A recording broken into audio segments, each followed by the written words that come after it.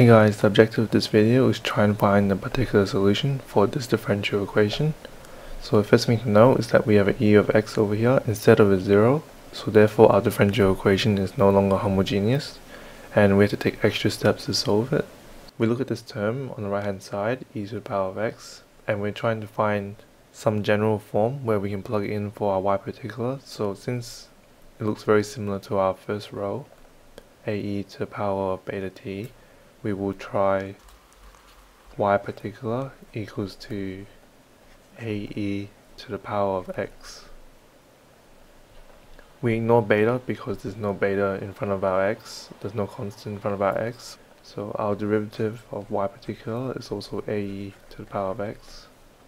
And y double derivative equals to ae to the power of x.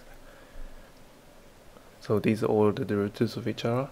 So we substitute this back into our differential equation, we get ae to the power of x minus 4 times ae to the power of x equals to e to the power of x. So taking out the e to the power of x, factoring it out, we get a minus 4a equals e to the power of x.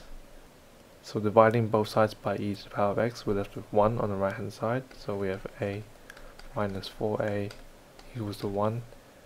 So we have negative 3a equals 1. So therefore our a equals negative 1 third. And our last step is to substitute this back into our y particular. So we have y particular equals to negative 1 third e to the power of x.